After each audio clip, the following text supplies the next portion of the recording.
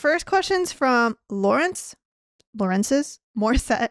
Uh, I use 0.05% Tretinoin. tretinoin and I handle it without a problem. Should I increase the percentage? Can you put it on your body? Great, great questions. Um, we would say that if you're f- with retinoids in general, Mhm. you don't necessarily always have to punch up higher and higher and Mhm. higher. It can really depend on your skin goals. Mhm. If you're handling okay, um, and if you're using it for acne, are you happy with the progress it's making in acne? Um, are you? And how long have you been on it? I feel like you're you're everyone's skin therapist right now. How does How- it make you feel? yeah.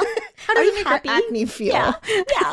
Um, and also, how long have you been on 0.05, right? Like, if you're on 0.05 for three three weeks and it's like you're tolerating well, just give it some time, see how skin, how the Yeah. efficacy translates over time. If you've been on it for half a year and you're generally happy with your um result and your um your skin status quo, I still don't see a big reason to kick up the percentage Mhm. um, you don't always have to go for more. But if you feel like, okay, my breakouts are under control, but I think I want to be a little better, or you're like, Mm. you know, I think my acne is under control, but I really want to see more anti-aging benefits.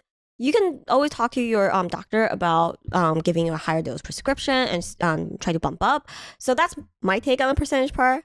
Body, Victoria, can you put it on your body? well, I was going to add, I think what, like, I really liked what you said in that I, for some reason, there is something that's like placed in our minds that we need to get that gold, like that golden number of 0.1% tretinoin Mhm. to get all the benefits. And I Mhm. just don't believe that's how we should think, No. right? The idea is that, you know, it's not about that you have a next level you need to get to. It's about how your skin is Yeah. like, are you good with the results? It's only when you feel like skin is looking more dull, more Mhm. pigmentation, more wrinkles, then I feel like that's the, the Yeah, time to be like, okay, let's analyze. So hopefully that's not this person. I don't believe that, but yeah. And for body, what part of the body? Oh, that's a great question. what are you trying to target? Also, I thought tretinoin's really expensive. So Yeah. On full body, that seems expensive. yeah. But I think it's more like what's the goal? I can Mhm. definitely see like maybe for neck and chest. Yeah. Um, but holy cow, I hope you sunscreen that area. Yeah. And I don't know, I don't necessarily believe I don't know. When we looked at like truncal acne and whatnot, um, we did see that these tretinoin can be helpful. But I think it's just important to have a quick like initial Mhm. conversation with your derm Mhm. before doing that. But otherwise, yeah, I just I'm more cost wise. I kind of have a concern there. Yeah, I don't. I actually haven't looked into um, tretinoin being used in other body parts as much, but I think I once did a uh, search on retinol, Mhm. and retinol because it's an anti-aging classic, they've tested on like everything they can test Yeah. on. Like you've seen it tested for like stretch marks, like other area wrinkles Yeah. and things like that. And same thing as face. Just proceed with caution in terms of irritation, manage expectations, and I will have you guys know while we are formulating double play because we get a lot of samples with different iterations. For ones that you know, like that we didn't like, didn't quite fit the bill, that we punted. I don't know what to do with the extra ones. I put it on my butt. So was I expecting anything magical? Not really, but it was kind of like you know, if it helps with firming. One butt cheek look better than the other. I mean, I, I don't know if I can talk about it on this podcast, but yeah. yeah. Okay. Makes sense. All right. Next question. This is from Adrian Melanie. Microcurrent devices, do they work? Red light devices. All right. We're just shouting Devices devices. in general. yeah. Uh, yes and no. or okay, we we recently spoke with someone about this. Mhm. Um, the general takeaway from these devices in Mhm. general is their in-office counterparts will always be more powerful. Mm.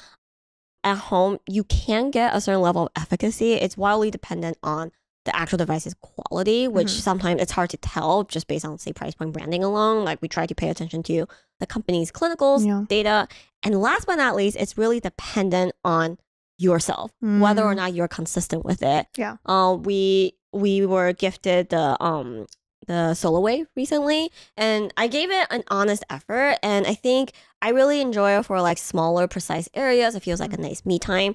I I do have a hard time working it into my routine very consistently, Mm. even though their uh, consumer perception tests use it daily, Yeah. and they ask you to at least use it every other day, basically. I have a hard time sticking with it, and just know that you need that level of consistency to really see it work. Yeah. And we usually say diligence for two months and then evaluate Yes. if that's giving you What you're looking for. Yeah, the Yeah. results you want. So yeah, and I think some of sometimes Gloria and I lament about the device category and that like the price point is so wild. Mhm. It feels sometimes like a worse version of skincare topicals. Like before, we would talk about how like oh like you you used to feel like you need to buy an insurance policy like pay a certain amount to get a Mhm. s- result i've never felt that more with devices Yeah. as well especially because you can find like a $10 version on amazon and you're like there's no way there's Yeah. no way right Yeah. so i think that's the other really difficult part about this category but yeah, if you're one that's like really good about your skincare routine and also knows how to prioritize your me time, this might actually be perfect for you. Yeah. For Yeah. me, I have learned that I'm not methodical in the way I, I'm. Oh yeah, I- tell I'm- them about the solo wave. Oh yeah, because you know, it, in the actual consumer perception, Yeah. they recommend you making sure that you um, touch an area for at least three minutes Yeah. and use it on a whole face for like 30 minutes, Does right? it tell you when to like move to the next section? No. Ah, okay. so okay. you're just like, because the NuFace was good about that. Yeah, Do you like- remember? Like they would it would beep and Yeah. then be like, all right, right, right, I gotta move. yeah, yeah, Yeah. yeah. So Solawave, at least like, I don't know if they have different versions. The one I got, you just turn it on and you just. Zzz, zzz, zzz. So you yourself have to be disciplined. Yeah. and you're not using it because it's a hand handheld device. You're not staring into the abyss during the sun. You're Mm. probably watching TV, Mm. and I lose track. And got to a point where my man, if it worked really well, I'm gonna be so lopsided in a month because there's always one side that got a lot more zapped than the other side. So I'm Yeah. kind of like, Yep, that's fair. All right, let's wrap up with one final question. This is from Delia Adams, 814. She asks, How do I fade my freckles? Like, I have a lot of freckles. but I Um, like your freckles. you live with it. Uh, well, okay. First, first things first. Sun protection. Like it's Yeah. all in the sun. Like it doesn't matter the season. Yeah. I will notice my freckles pop a little bit if I get a Mm. lot more sun. Mm. And I don't know the level of freckles you have. Freckles, first of all, freckles are in. People have tutorials on how to draw fake freckles. Hey, we're back. Yeah, and so just embrace it. And if it's a lot, um, my mom, I, I got my freckles from my mom. My mom used to get, she had a lot more freckles than me, and she hated it because as she got older, she felt like they're starting to look less like freckles, more like age spots as they develop. melasma. You can get that lasered off in the office if you want it, because Yeah. there's nothing you can, because it's genetic, Yeah. right? There's nothing topically you can use to make it completely go away. Yes. It's just stuff to manage it so it doesn't get more pronounced, but that's it. I think definitely like as, you know, I imagine when I'm like 50, 60, I will be entertaining a laser procedure. Yeah, Yeah, exactly. for Yeah. sure.